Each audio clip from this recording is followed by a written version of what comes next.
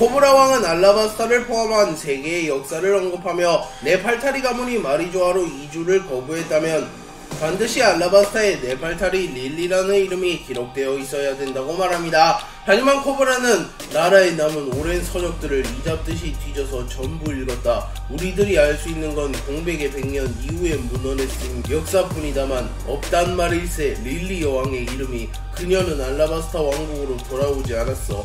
릴리 여왕의 남동생이 그 이후 알라바스타를 통치했지. 그녀에 대해 뭔가 알고 있는 것은 없는가? 라고 물으며 릴리 여왕의 이름이 알라바스타에 남겨지지 않은 것에 대하여 의문을 품으며 어쩌면 릴리 여왕이 알라바스타 로 돌아오지 않고 마리조아에 남아 있었을 수도 있다고 말합니다. 그리고 이 릴리 여왕은 단순한 창조주 중 한 명이 아니라 이무와 밀접한 연관이 있는 인물이거나 어쩌면 이무 본인일 수도 있기에 릴리 여왕이 어떠한 이유로 알라바스타로 돌아오지 않았던 것 원피스의 역사를 관통하는 거대한 사건일 수도 있습니다. 그리고 세턴성은 뭔가 했더니 800년도 전의 이야기 확실히 네팔타리 가문의 왕만이 이곳에 살지 않은 것만은 사실이다만 우리들도 나라로 돌아간 거라 생각했던 그 이유도 동양도 아주 먼 옛날의 일 알 여지도 없지 미안하네 모르겠군 이라고 말합니다. 그리고 이 대화를 이무도 엿듣고 있었기에 코브라와 오로성의 대화는 단순히 오로성과 한 국가의 왕의 대화가 아니라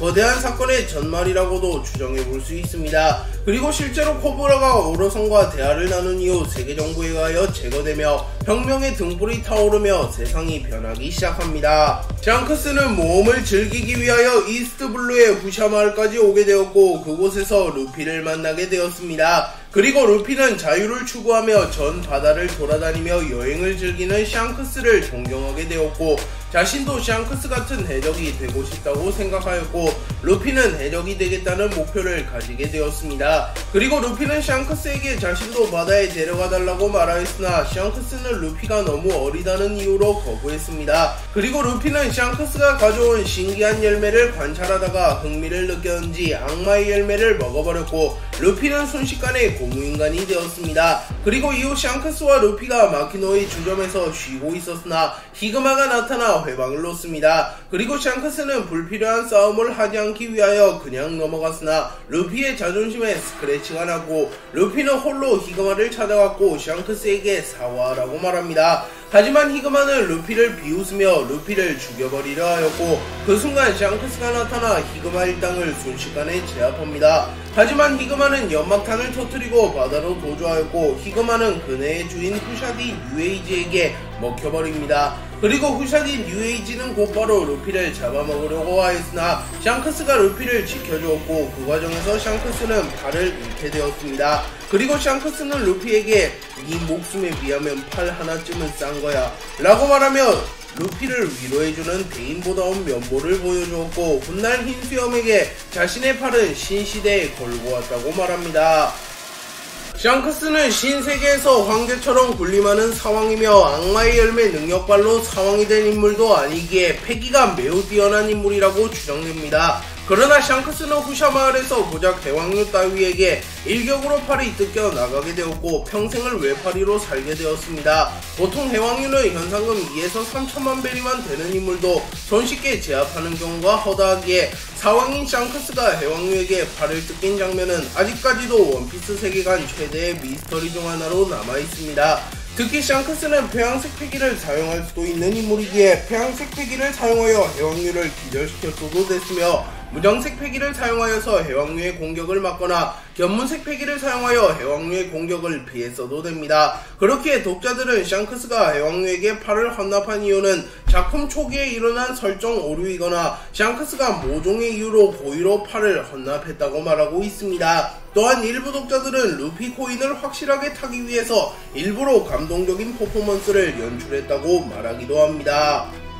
소파가 먹은 악마의 열매는 동물계 악마의 열매, 사람 사람 열매입니다. 사람 사람 열매는 종류가 꽤나 다양한 열매로 현재까지 밝혀진 사람 사람 열매는 사람 사람 열매, 사람 사람 열매 모델 태양신 니카, 사람 사람 열매 모델 대불, 사람 사람 열매 모델 오우 유도가 있습니다. 그리고 초파가 먹은 사람 사람 열매는 아무런 모델이 없는 평범한 사람 사람 열매로 현재까지 밝혀진 사람 사람 열매 중 유일하게 환수종 열매가 아닌 열매입니다. 그렇게 사실상 사람 사람 열매 중 성능이 가장 안 좋다고 볼 수 있습니다. 하지만 동물이 먹게 되면 사람 사람 열매도 충분히 메리트가 있는 열매라고 볼 수 있는데요.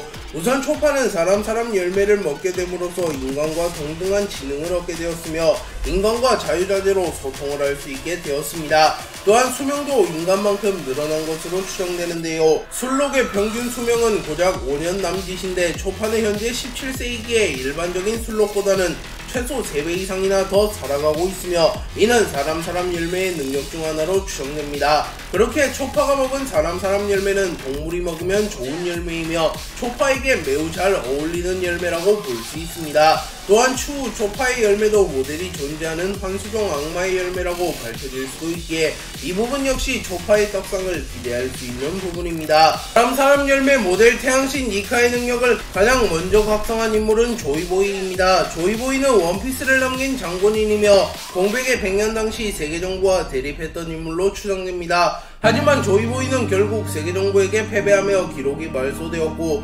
조이보이는 새로운 조이보이이자 태양신 니카의 의지를 이어가며 세계정부로부터 세상을 해방을 시켜줄 전사를 기다려왔고 로드 포네그리프 원피스 고대 병기를 남겼습니다. 그리고 그 인물은 무려 800년이 지나서 나타났으며 조이보이가 기다린 인물은 루피였습니다. 물론 중간에 로저가 먼저 원피스를 찾긴 하였으나 로저는 자신이 조이보이가 될 수 없음을 깨달았고 D의 일족으로서 조이보이의 의지를 이어가기 위하여 자신의 목숨을 희생하며 대해적 시대를 개막하였습니다. 그리고 결국 세계 정부의 방해에도 불구하고 루피는 카이도우와의 대결에서 사람 사람 열매 모델 태양신 니카의 능력을 각성하며 조이보이가 되는데 성공하였습니다. 그리고 루피가 라프텔에 도달하여 원피스를 찾으며 해적왕이 될 날이 멀지 않았으며 세계의 진실을 파악할 날도 멀지 않았기에 루피가 해적왕이 되며 원피스를 찾게 될 때 조이보이에 대해서도 자세한 정보가 풀릴 것으로 추정됩니다. 그리고 아직은 조이보이의 무력에 대하여 자세히는 알 수 없으나 조이보이가 선대 사람 사람 열매 모델 태양신 이카의 각성자임을 감안하면 조이보이는 약할래야 약할 수가 없는 캐릭터입니다.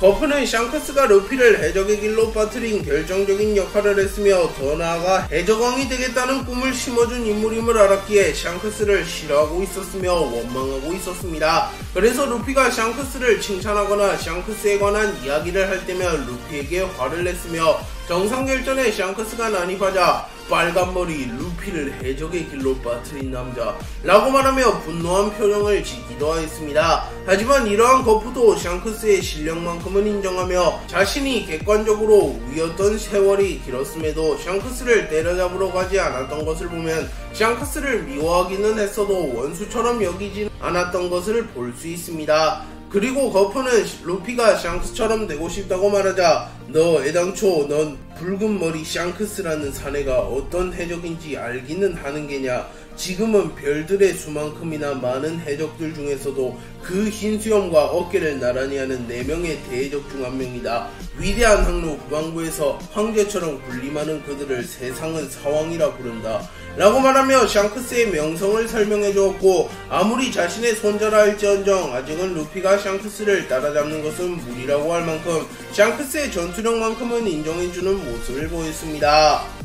샹크스와 미오크는 과거 세계 최강의 검사 자리를 두고 경쟁했던 라이벌 관계이며 수차례 격돌하였으나 승부를 내지는 못하였습니다. 그리고 흰수염은 샹크스와 미오크의 경쟁을 보며 치열한 나날이라고 말하며 이 둘의 강함을 인정해주기도 하였습니다. 흰수염은 자존심이 무척 강한 인물인데 이들의 대결을 인정한 것을 보면 미오크와 샹크스가 얼마나 강한지 알 수 있습니다. 하지만 샹크스가 루피를 구하며 후샤딘 UAG에 의하여 한 팔을 잃게 되었고 한 팔을 잃은 샹크스와는 겨루고 싶지 않은 미호크 때문에 둘의 승부는 자연스럽게 중단되었습니다. 그리고 미호크는 자연스럽게 세계 최강의 검사가 되었고 샹크스는 이후 사왕이라고 불리게 되었습니다. 그리고 미호크와 샹크스는 다시 만나게 되었고 미호크는 어느 섬에서 쉬고 있는 샹크스를 찾아왔고 샹크스는 그날따라 기분이 나빴기에 미호크가 찾아오자 승부라도 벌일 것이냐고 묻습니다. 하지만 미호크가 몸도 불편한 자네와 새삼스레 승부는 가려서 뭘 어쩌겠냐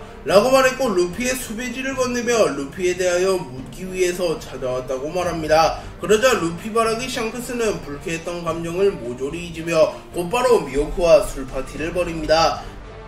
크로커다일은 과거 신세계에서 이름을 떨치던 유명한 해적이었으며 정부가 직접 실무회가 되라고 말한 몇 안 되는 인물이기도 합니다. 그리고 크로커다일은 로저의 처형식을 지켜본 이후 본격적으로 바다에서 자신의 이름을 떨치기 위하여 당시 세계 최강의 사나이라고 불렸던 흰수염에게 도전하였으나 흰수염에게는 참패하고 맙니다. 그리고 이후 크로커다일은 단순히 무력으로는 흰수염 같은 괴물을 능가할 수 없다고 판단했는지 정부조차 두려워할 만한 군사력을 원하게 되었고 고대변기 플루톤이 잠들어져 있다고 전해지는 알라바스타 탈취 계획을 세웁니다. 그리고 크로커다일은 이미지 개선을 위하여 왕아 칠무회가 되었으며 해적 소탕에 힘을 썼고 이때 크로커다일 경이라는 별명이 생기게 됩니다. 그리고 크로커다일은 플루톤의 위치를 알아내기 위해서는 알라바스타에 있는 포네그리프를 해독할 필요가 있다고 생각했고 당시 정부에게 쫓기고 있던 리코로빈을 자신의 수하로 영입합니다.